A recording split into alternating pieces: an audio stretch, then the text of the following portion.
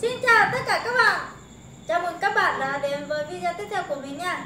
À, Các bạn ơi, hôm nay mình sẽ review lại những món đồ cũ của mình nha các bạn nha. Các bạn ơi, cái hình này là hình trái tim đôi này các bạn này. Đây là hình trái tim đôi rất đẹp các bạn nha. Tuy là đồng 500 ngàn nhưng mà ngày xưa mình rất là mới tinh mà giờ vẫn còn mới, chưa cũ lắm. Cũng gọi là cũ mà chưa cũ lắm. Các bạn thấy hình trái tim đôi này có đẹp không các bạn? Rất là đẹp luôn đúng không?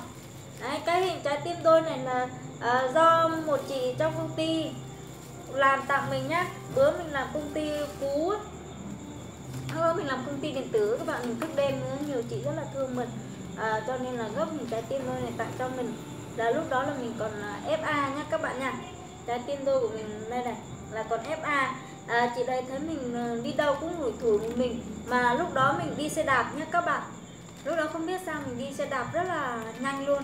Với lại đi đạp được rất là xa luôn. Còn bữa nay đạp gần thôi một tí thôi là mình đã thấy mệt rồi. Rất là đẹp luôn. À, chị ấy gắp tặng mình một trái tim đôi này là chị ấy mong ước rằng à, mình sẽ tìm được một nửa của mình. Ừ, rồi sẽ ghép lại thành một, một trái tim như vậy nhé các bạn nhé. Đấy sẽ dính lại vào với nhau và là yêu thương quan tâm chăm sóc nhau nha ý nghĩa của chị ấy là gấp tặng mình trái tim cấp tặng trái tim tôi này cho mình là như vậy. Rất là đẹp luôn và mình luôn giữ kỷ niệm cho đến giờ. Cái này là cũng mấy năm rồi các bạn ơi. 5 năm rồi. Còn những đây là, những đây là mấy chị đó mình đi làm á.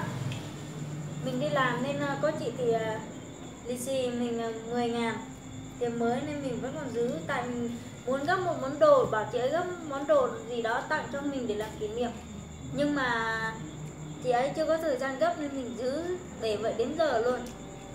Đó. đây là 10 ngàn là của của chị tổ trưởng này. Đấy, chị tổ trưởng tặng mình 10 lì xì mình 10 ngàn vào đầu năm đi làm này. Trước khi nghỉ Tết này còn mới luôn. Tại cái đồng này mình không biết gấp cái gì nên mình chưa thể gấp hoặc là chưa bảo ai gấp để tặng mình luôn các bạn nha. Chị ấy cũng không có thời gian luôn. Nên mình cứ đến giờ. Cả năm ngàn này nữa các bạn ơi. 5 ngàn này là mình đi rút lộc của bạn mình nhé các bạn nhé ừ, đầu năm mới mình đi lên nhà nó mình rút lộc và đây là à, món quà mà mình à, rút lộc được đầu tiên.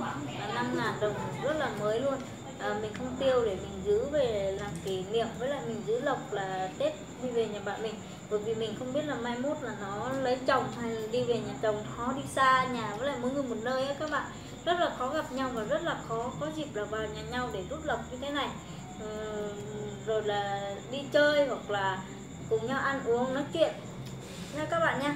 Cho nên là mình sẽ giữ kỷ niệm để giữ lại kỷ niệm là ở đầu năm mới mình nghỉ.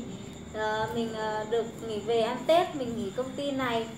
Mình về mình à, gặp bạn để à, nói chuyện nha các bạn nha. Đấy, ôn lại những kỷ niệm rất là tốt. Đó. còn các bạn ơi một sắp 200 đồng này là các bạn này. 500 đồng này với 200 đồng này này. Ba tờ 200 đồng với một tờ 500 đồng.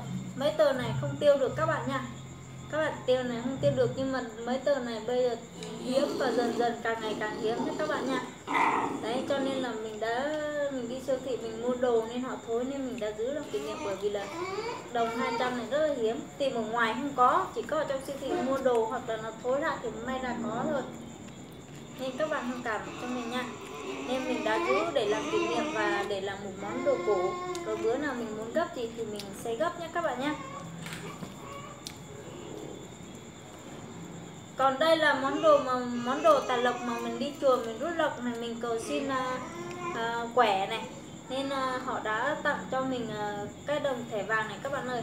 Lúc đầu là mình đi rút quẻ mình vô mình thắp hương uh, mình lạy phật đó cho nên vô xong rồi các sư thầy ở chùa nói là đầu năm mới là ừ, pha tặng lì xì cho cái lá lộc 99 ba con chín này. Lá tài lộc vàng ba con chín này là mừng tuổi mình mong mong rằng là đầu năm mới mình vô làm á. À, đấy mình sẽ có nhiều tài lộc. Đấy có nhiều tài lộc và mua được nhiều vàng ba con chín này nhé các bạn nhá. Đấy mua rất là được nhiều mà ban chín này ý nghĩa của ờ, nhà chùa là như vậy. À, mong muốn là mình và tất cả mọi người à, đều hướng về lương thiện và làm ăn được nhé các bạn. Làm ăn rất là tốt luôn các bạn này. Đấy, cho nên là mình giữ đến giờ. Cái này là mình rút được cách đây khoảng 2 năm rồi nhưng mà mình vẫn giữ nhá.